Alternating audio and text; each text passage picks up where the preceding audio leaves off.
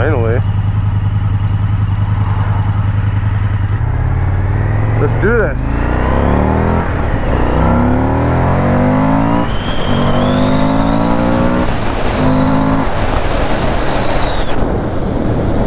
Ah, hello YouTube. Hopefully this works out alright, having just spent 20 odd minutes trying to get my shit together. It's been a while since I've done a motor vlog. Let's go this way. I just thought it's a nice night. We're getting less of these towards the end of summer. Let's take you along for the ride. Oh, hello cows. So, I don't think I've done any motor vlogs since moving out to the new place. But I've done plenty of rides around the place. And it is, yeah, I'm pretty fortunate with some of the roads I've got at my disposal now, which is good fun. So I thought I'll take you on me trying not to get killed by A-classes on back roads and show you some of the sights. I have got a new ND filter on as well to try and see if I can make the ride a little bit more cinema cinematography, cine, cine, words, the word with cinema in it. Cinematographic, I don't know. I need to Google that. Words are hard. So yeah, this is just out um, for anyone interested. Rural, rural Aberdeenshire. Uh, it's uh, just outside Old Meldrum. Hopefully the microphone's picking this up. I struggled a little bit. I've always struggled to try to get a, a repeatable vlog uh, set up where the sound's always really good. Sometimes you either get too much wind noise I didn't take my uh, secondary microphone to capture the engine noise today, it was just a little bit I wanted to get and about before I lost light, if you know what I mean, so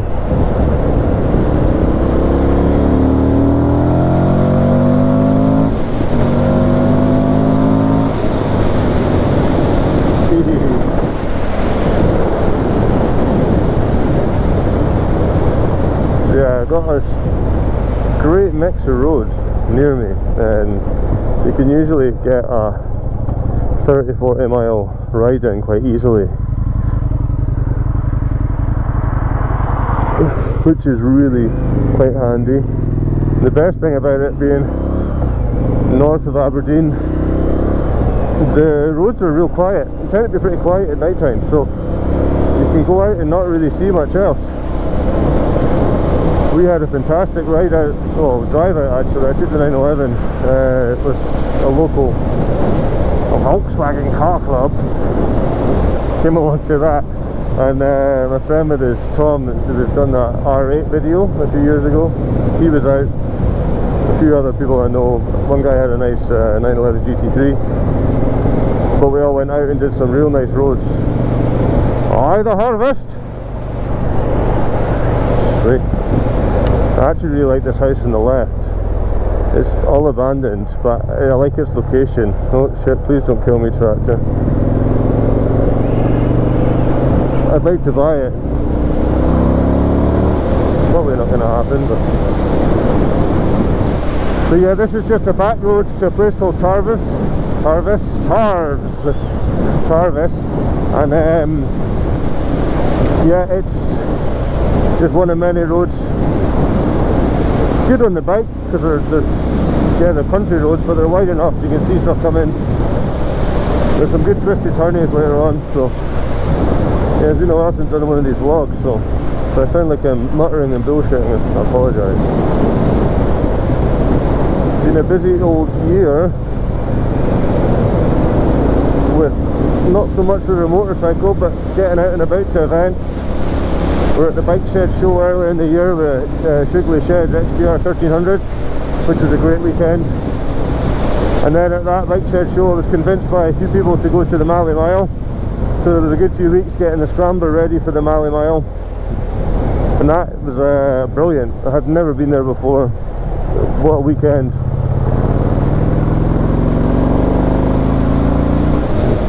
But it's it, it was uh, yeah a bit of work getting the scrambler ready, but obviously didn't get all the way through the weekend. It seemed to have a few issues. I've still not figured that one out yet. I pretty much have parked the bike up since I came back and not really done much since, but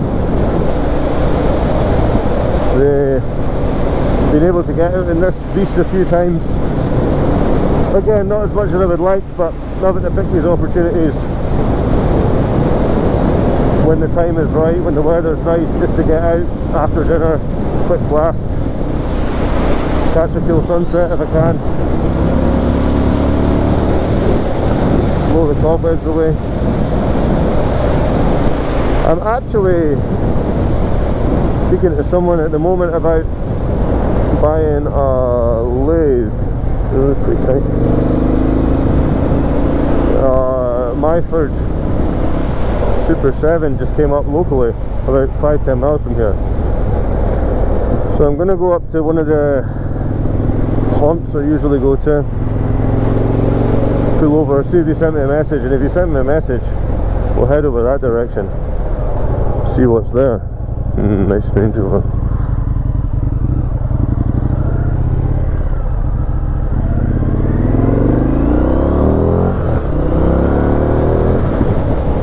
did a big wheelie here by accident last time I was driving through it, I just pinned the throttle and first in it. Funnily enough the front wheel came up but so yeah I'm waiting to see if this guy comes back about a lathe and if he does then I might go and see it. It's a little bit more money than I would be liking to spend but um, but it's a damn nice lathe.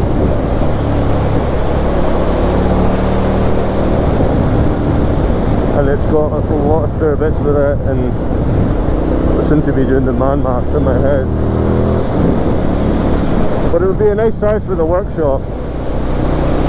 And the one Gus gave me was an awesome starter lathe, but the majority of stuff I machines can either be stainless or aluminium. I mean aluminium's a bit easier to machine but so if I could get something a bit more durable, a bit more heavy duty, that would be useful.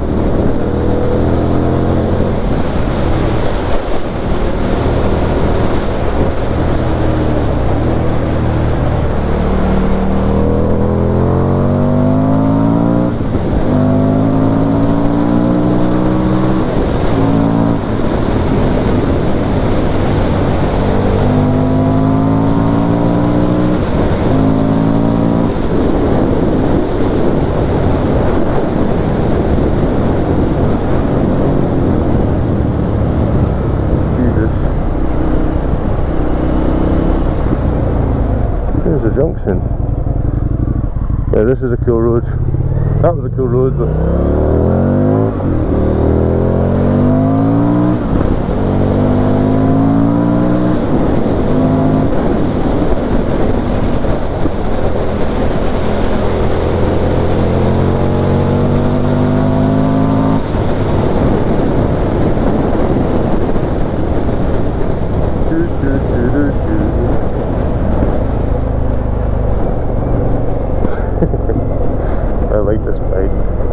tempting to sell it, but every time I go out and it brings a huge smile on my face. So. Just love the V-twin. The torque.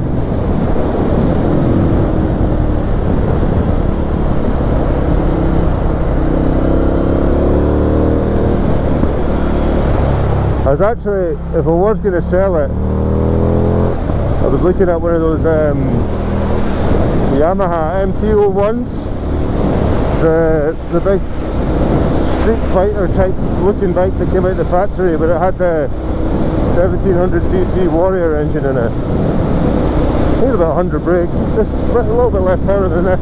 I think it's maybe got more torque. But I think the thing I enjoy most about this bike is the torque. So that would be the the only thing I would maybe trade it in for.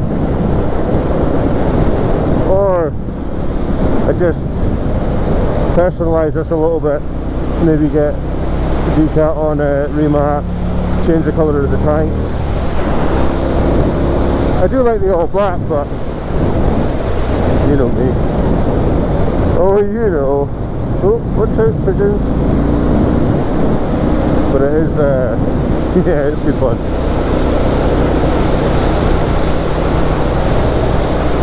here's a question for any of the five people that end up watching this does anyone listen to music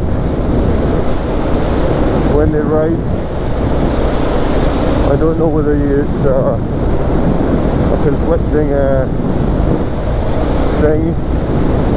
I like to listen to music on my AirPods, but it's probably not the best for my hearing. Eh? But I do really enjoy it because it adds an extra element of fun to a ride, the same way as sometimes having your favourite tunes on when you go for a drive. I just don't know, is, is there a... Does anyone else do it? Does anyone else... Does it think it's dangerous? People come back and said they think it may be dangerous, which I'm not, I'm not really sure. Riding a bike's fucking dangerous, so...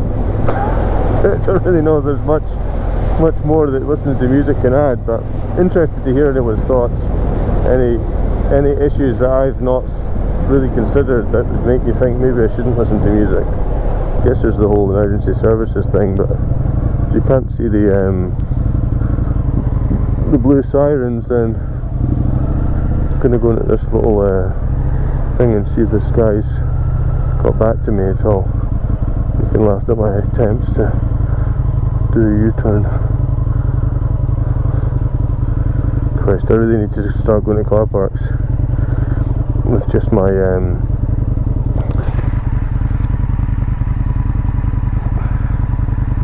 just a big overcoat on and nothing underneath. But, um, you start going to like YouTube, see my password.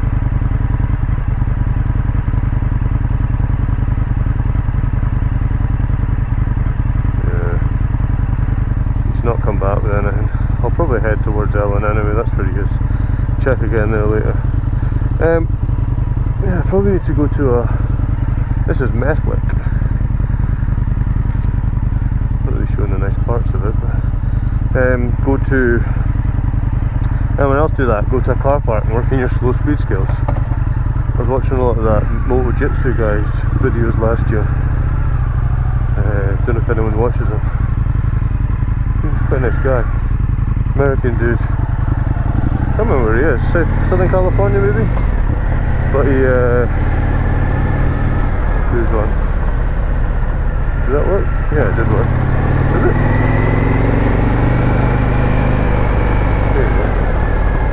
comes off when you do clutch in. Uh, yeah, uh, Moto Jitsu. There's a lot of cool videos. But yeah, you fucking flashing at you old dick. Suck a bag of dicks. Uh, sorry, where was I? The oh, Mr. Pigeon yeah, Moto Jitsu does a lot of cool uh, videos just about bike handling, bike techniques, and uh, teaches you all about just like safer riding, but to ride fast as well. But a lot of his uh, a lot of his drills are all like when you get onto the bike, just do like do emergency stops when you go on them, do U-turns, all the stuff that catches you out if you're not good at them. but one of his things is he promotes a lot is to try and get out to car parks and just uh, do a lot of slow speed maneuvers. Flashing to each other. Slow speed maneuvers so uh,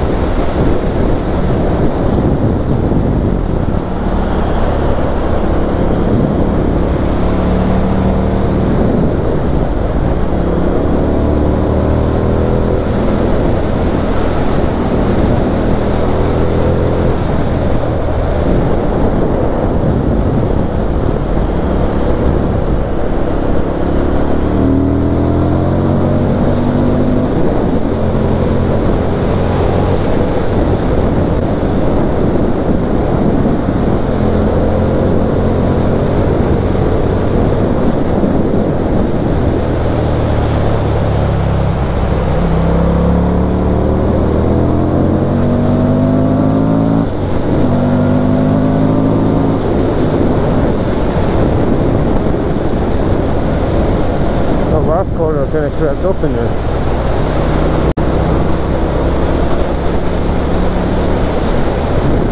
Probably wait when you're doing 80 miles an hour, but never mind. I mean 60 officer.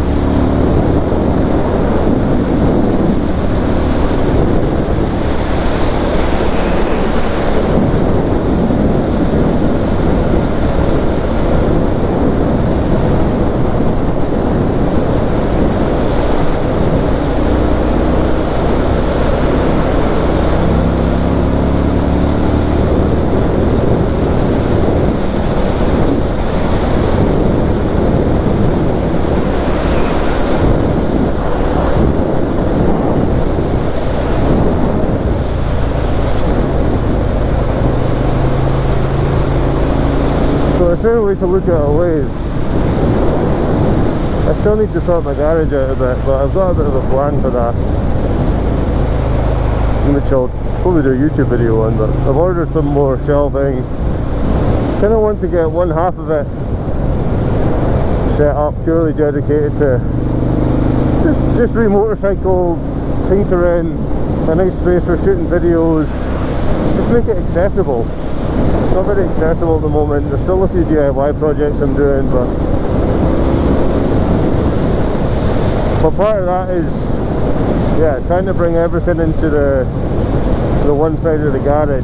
So repurpose my old motorcycle bench, turn that into another actual bench, and then bring forward the uh, bring to the other side the, the motorcycle ramp, bring that into the right hand side of the garage so then I can just ooh, I can do a lot of stuff um, do everything there. I probably still have the uh, the metal cutting stuff on the other side. Store this bike through the other side. Just repurpose it a little bit better. Well yeah that's it. Please don't come out Doris strong houses Maybe not these ones so much, but M5.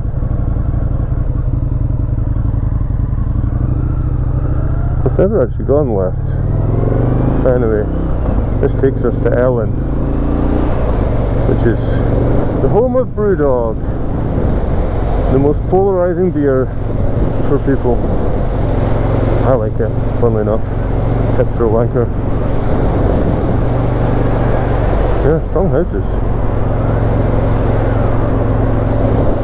Maybe not the not the left hand side.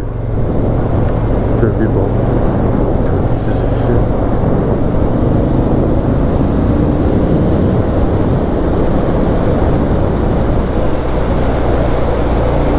So I was down at um, Halifax over the weekend there to see Biffy Clyro, Scottish rock band uh, play live at the place called the Piece Hall, which I'd never been to, I'd never even heard about it until about tickets.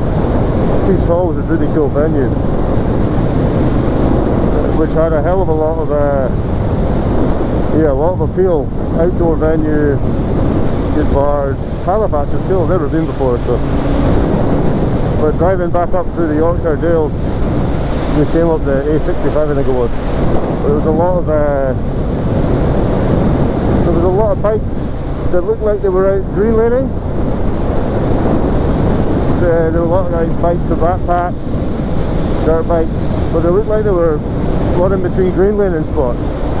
It's got me thinking, because there's no green laning in Scotland, which is tragic, because look at the scenery. But the Malle Mile obviously got a little bit of a taste for using a dirt bike off-road like it should be used, funnily enough so I was wondering about getting the uh, when I do get the scramblers fixed and back together I wouldn't drive it down put bollocks to that. Well maybe I would ride it down I don't know. But seeing about getting uh, some folk see if we want to go green just in Cumbria or Northumberland. Not too far for us old Scots get a group of us to go. I think that would be quite good fun so if anyone has done it extensively and knows some good routes around there let me know never done it before. I think it looks really good fun. Any pointers, anything you should know, anything you wish you knew when you first started. It wouldn't be a new hobby because of the, the distance to travel, but it would be a good thing to do and tick off. So.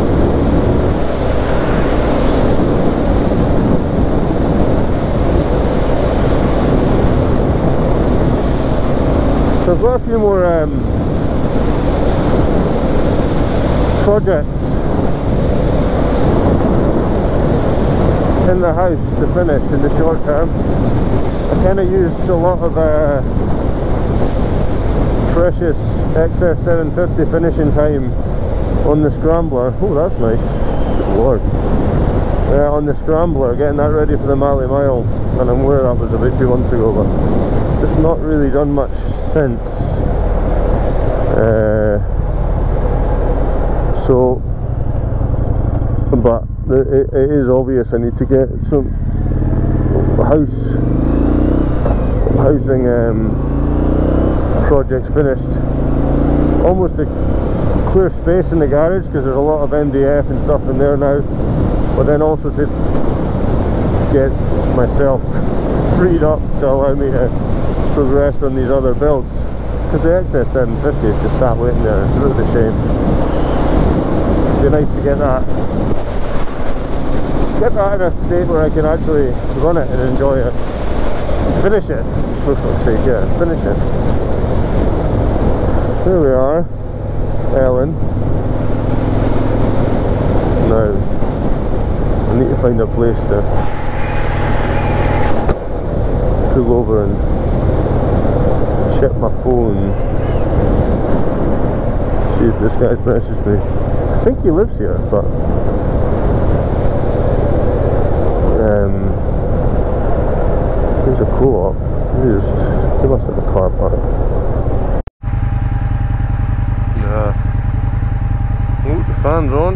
Better get running.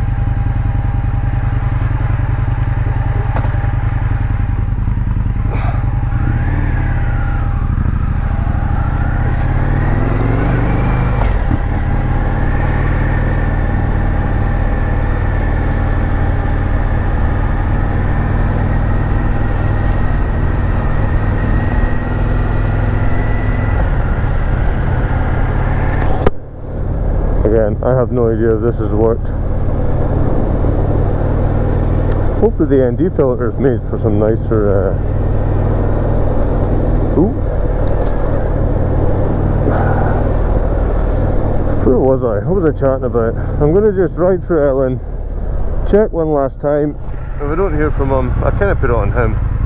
Just kind of flirting with him and saying I'm not uh, his way is out my budget. It's 1500 quid, but they don't come up often. Myford Super 7, loads of spares.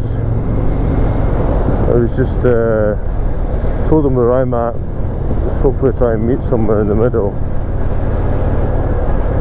In the same vein, kind of want to figure out if he's if he doesn't want to lower the price or whatever, which is fine. People are people are, will sell it for what they want.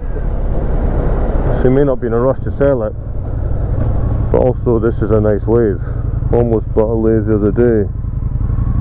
On uh, eBay.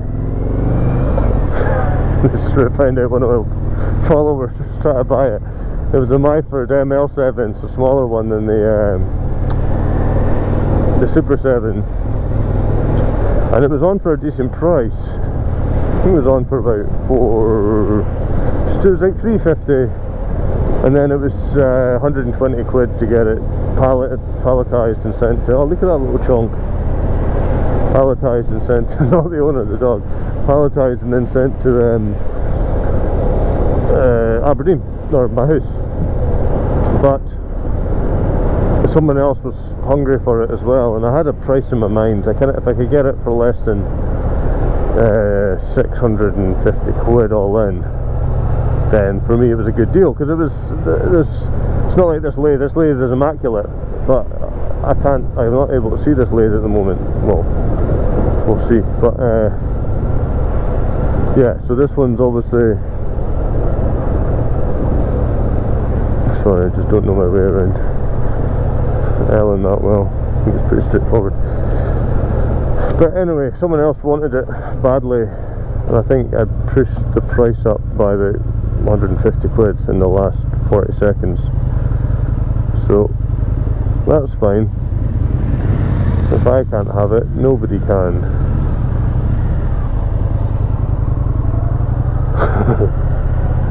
An asshole eh but anyway I didn't win that. So this one came up and I thought hmm, it would be quite handy but we just need to just need to see. Obviously there's no point having a budget. Seems a bit counterintuitive to have almost no budget. After setting yourself a hard limit but it is a nice lathe so man maths so I'm just gonna go to the edge of the village here check my phone one last time and if the guy's not responded, he's not responded, I'll go see it another night. It's not, again, it's not that far back to my house from here. 10-15 minutes in the car. And it's getting dark, so I don't know how well the uh, ND filter will cope as well. So,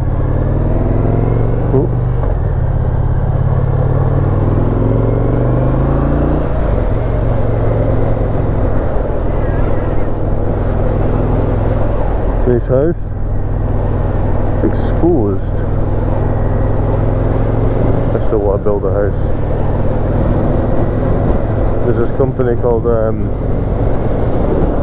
Homes that do nice houses the kind of kit houses. SIP panels are called structural insulated panels. They make like really energy efficient houses. They go up real quick quick customizable. So it'd be cool to do that that's the goal for the next place. Get a nice plot somewhere. Put one of them up put a full garage up. The end. See how it works out. Aberdeen property market is not kind. Having bought a place in the what appears to be the peak just before the bubble burst. It's a kind of shitty place to be some left with a flat, my old place that I can't sell, have to rent it out. Don't really want to rent it out, but there you go. Woe is me. Maybe I should finish the motorbikes and sell them rather than just starting endless projects, but oh well. Right, I think I can stop here on the right.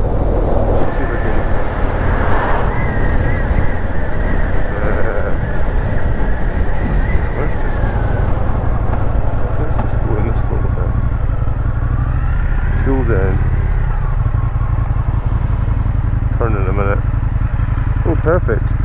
A chance to practice a U-turn. Toolden do so many good offers. Forget that it's an Ellon. Yeah, that's giving him an hour and 15, he's not messaged. Message him tomorrow. If it sells, it sells. Right, there's Cool Road on the way back, let's go do that. But first, let's do a U-turn.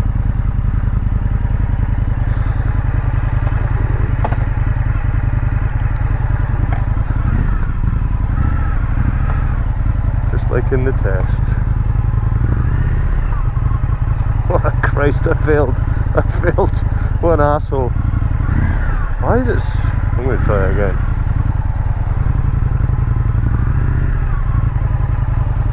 Is it particularly tight or am I just rubbish at this?